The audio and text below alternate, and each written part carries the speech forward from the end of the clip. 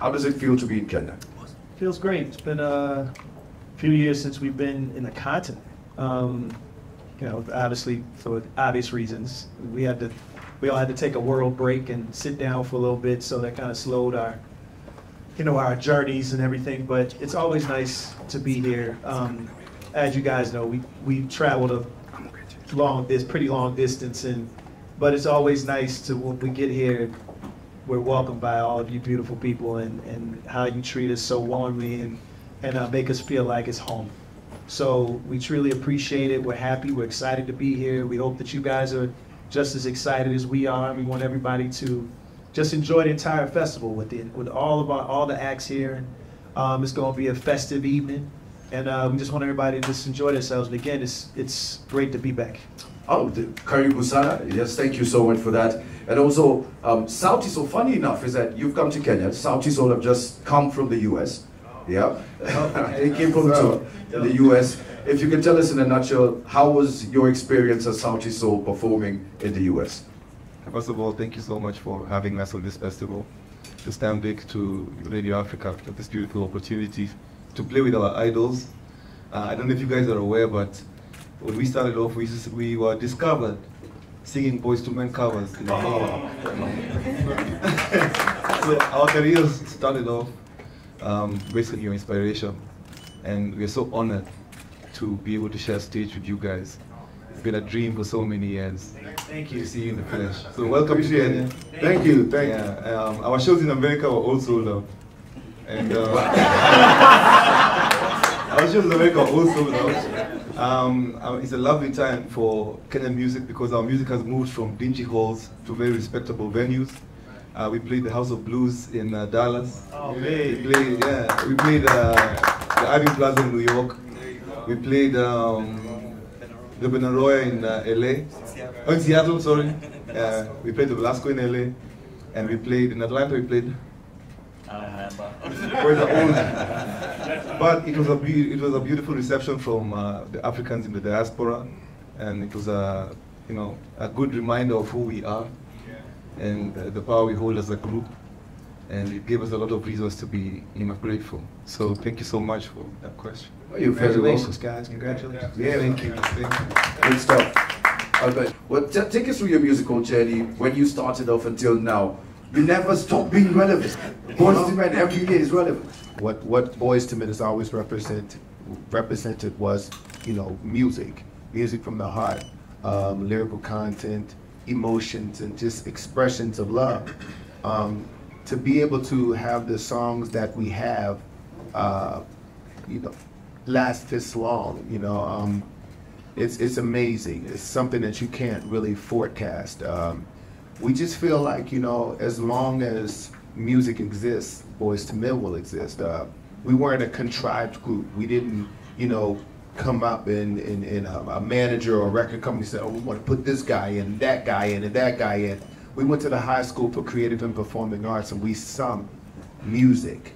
So music actually put us together, you know. So um, we're connected to it, and I think that that's what it, it, it really is. It's just us being uh, who we are, uh, artists, uh, creators, and and just the gift of God being able to sing songs that people really feel and touch them with the emotions that come behind it. Um, it's nothing that we can really, you know, say other than you know we're blessed. That, that's true. you kept the songs alive. So you kept Boyz II Men alive.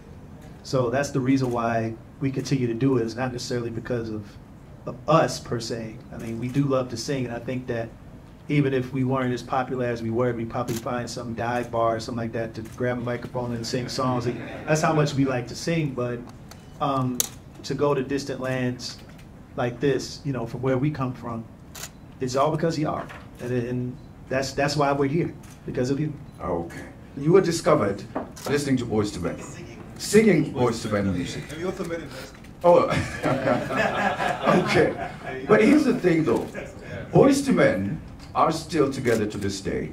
We're hearing stories that that Sauti Sol, this is one of their last concerts as a group. Why? I want to hear this question. Yeah. Well, um, I mean, it's it's uh, so it's been an amazing journey so far. Actually, it's been 15 years in the business, and uh, it's getting to a point where we feel that we just need to step back a bit. We're not quitting music or breaking up. I just want to put that out clearly. I think the statement that we put out was very very clear, but there's a lot of interpretations from you know media and everyone else and just all our fans. But it's just a small, it's just a small hiatus, as we say. It's a small hiatus to, to uh, and everything else will be running. All the businesses that we've come up with, a record label, and everything else will still be running. Uh, we just feel like we just need to take just just a very small, tiny break, yeah, from music. That's it. Yeah, yeah, yeah. And, and, and you guys are there. I mean, you know. Uh, We, we, They yes, have done it, we yeah. have. You we said have. it before. Yeah. Oh, they, they understand. They understand. Yeah, we, we, we actually did it for two years, you know. There you go. Yes, yes, Was it, was it healthy?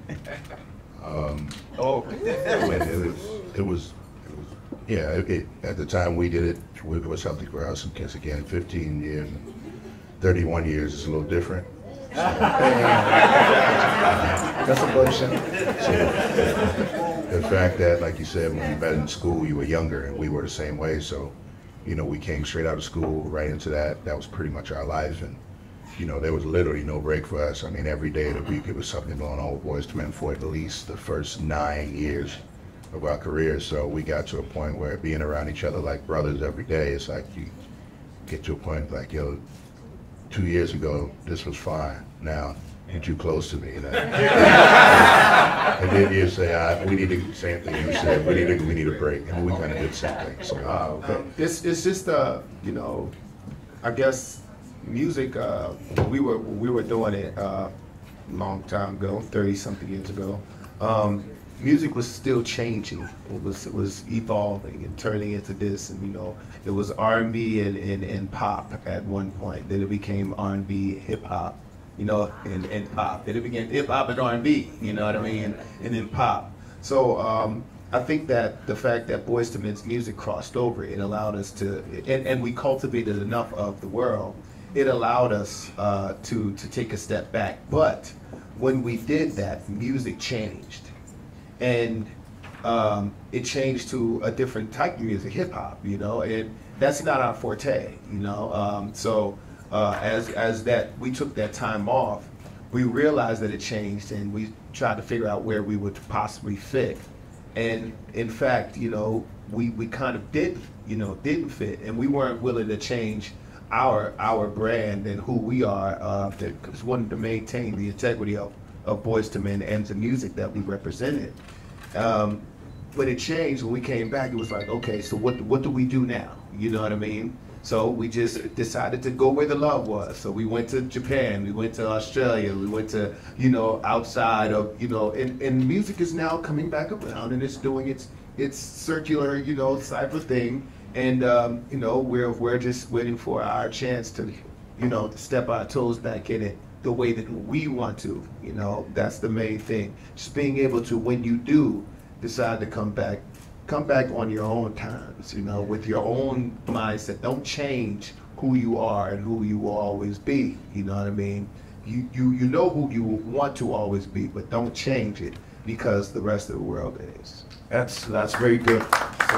Does your split or break? Let me call it a break. Does your little break going to affect? Is is going to affect a whole generation? Of course, artists like Nviiri, the storyteller. We're talking about the likes of uh, Kina Juanito, the other one. Yeah, Bensoul, the other guy. I forget his name. And so, Bensoul. Yeah. yeah, definitely. As Polycarp has said, man, we set up those businesses as, as legacies, you know.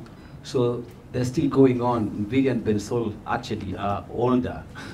so we need to sign more people. So actually right now we're looking for new talent.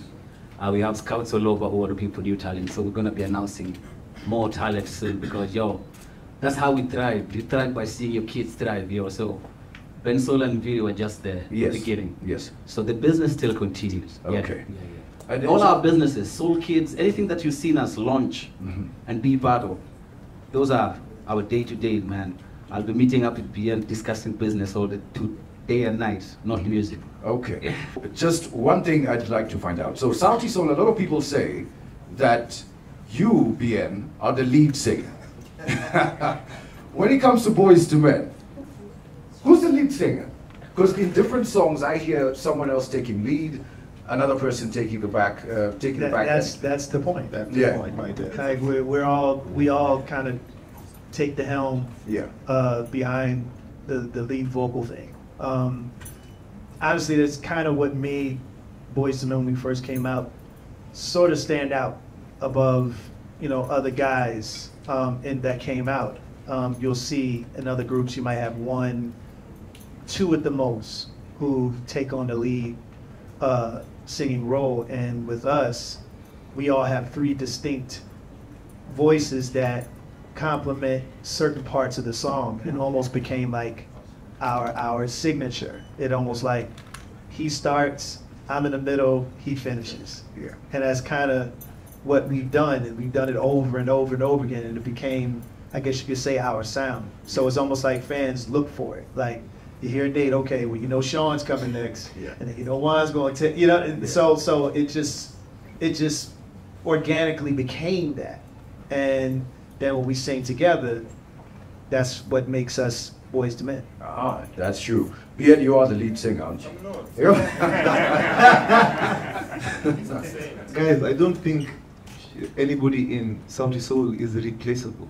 that's true. When you look at all the groups that you see, a lot of the groups you see on TV, uh, as he said, very manufactured. So they center it around one person, and then everybody else is kind of just playing a role where they're, you know, there to be aesthetic. But I don't think I've had a baritone like Chimano's anywhere. I don't think I've had a tenor like Savara's anywhere. And that's what makes the group special. Exactly. Yeah. Ah, okay. And every time you see when we when someone starts singing their verse, the girls always scream because now it's, that's my part, that's my that's my guy. Yeah, that's true. So everybody picks a favorite. Everybody picks parts of the songs that they love, and yeah. Okay, so uh, as we wrap this up, uh, just uh, before Boyz II Men leave, if you can give Kenyans an idea of what to expect tomorrow for the Stanbic Yetu Festival. Um, we're happy to be here. Um, you know, we, we know this is where, this is the continent where, you know, life was originated. So it's special for us, you know. We don't live here, so we can never underappreciate it. So we know it's going to be full. We know these people have followed us since we were kids. And we're just going to give them as much energy, as many, many songs, and as, as many vibes as we possibly can. Because this is what they deserve. And this is, like they said like earlier, this is why we do it. It's gonna be fun, definitely. Yeah. Oh, okay. Sauti Sol, what do we expect? Ben, I did talk before you showed up. um, um, tomorrow um, we get on at 7.30, so yay, be on time. It's gonna be amazing. Um, as usual, we'll, we'll give you our heart and soul, our voices, um, our performance, our energy, and um, yay. See you guys tomorrow. All right. Yeah. There you have it. Of course, it's happening tomorrow. The Stanbic Yetu Festival, Uhuru Gardens. You have to be there by 4 p.m. sharp. Yeah. We are not yet. We are not starting this late. It starts on time.